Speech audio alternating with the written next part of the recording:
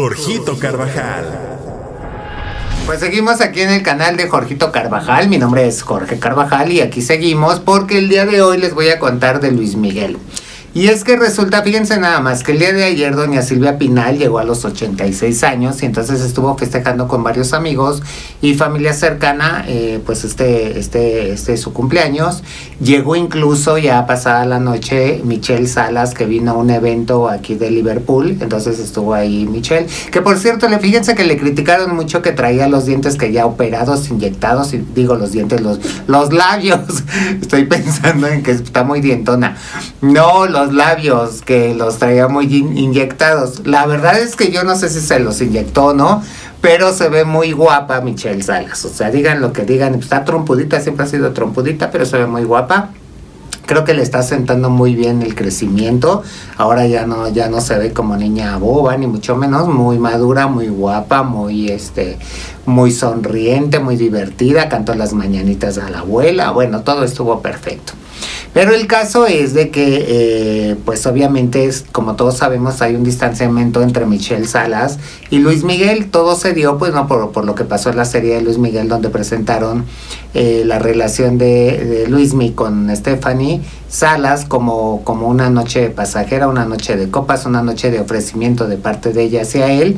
Y qué bueno que terminó en, en, en una relación sexosa de la que salió Michelle Salas, ¿no? Y eso dicen que que a Michelle le molestó mucho, pues porque finalmente eh, la dejó como como alguien que surgió simplemente de una costón, así de fácil, ¿no? Entonces dicen que le reclamó al papá.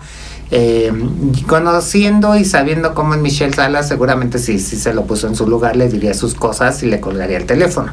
Pero bueno, eso no es lo importante que les voy a contar el día de hoy. Lo que les tengo que contar es lo siguiente. Fíjense que eh, la, la, serie de Silvia Pinal, que ya está próxima a empezar en Televisa, eh, pues hay quien le da flojera, hay quien cree que todo va a ser alrededor de Silvia Pinal y Enrique Guzmán, hay quien cree que, que, Silvia Pinal no tiene mucha historia que contar y demás, y la verdad es que sí, tiene muchísimo que contar la señora, imagínense en 86 años y metida en el mundo del espectáculo, yo creo que por lo menos 80, pues debe de tener todo, todo, todo para contarnos y para, para hacer una serie bastante interesante. Pero lo que no sabía y que me enteré, fue que en esta serie eh, se va a tocar el tema de Luis Miguel. ¿Cómo se va a tocar el tema de Luis Miguel? Bueno, porque finalmente dentro de la vida de Silvia Pinal, un, un pasaje importante, un pasaje que generó revuelo entre la familia, fue el momento en el que Stephanie Salas les anuncia que está embarazada. Entonces, en, uno de los capítulos, en uno de, los capítulos casi finales, se va a, contar cómo se vivió todo este momento. Desde que Stephanie les cuenta, desde que eh, les revela que Luis Miguel es el papá de, del bebé que espera y todo lo que se generó. Entonces ahí, ahí por fin se va a saber la versión de los Pinal, de la Spinal, en donde van a decir qué pasó, si sí le pidieron dinero a Luis Miguel, este, si le pidieron que se casara con Stephanie Salas, si le pidieron este el reconocimiento público o si no le pidieron nada o simple y sencillamente hubo pleito entre ellos, porque tengo entendido que en algún momento doña Silvia habló con Luis Miguel y las cosas no terminaron muy bien que digamos. Entonces, bueno, ahí le van a sacar todos los trapitos, ahí van a presentar a Luis Miguel del otro lado, ahí lo van a presentar tal y como es según la espinal, que seguramente lo van a dejar barrido y regado porque obviamente Luis Miguel nunca se hizo cargo de, de la chiquilla hasta que ya estaba pues bastante grandecita, creo que como de 17 años fue cuando él ya la reconoció y cuando empezó a tener eh, comunicación con ella. Pero toda la infancia y, y, y, la adolescencia, pues en realidad no, Luis Miguel nunca estuvo al tanto eh, de ninguna manera y mucho menos económica. Digo, si ahorita con los chiquillos que tiene con Araceli Arámbula, que están muy chiquitos los chamacos, tampoco les da su dinero, pues menos a Michelle Salas que decía que no era su hija, ¿no?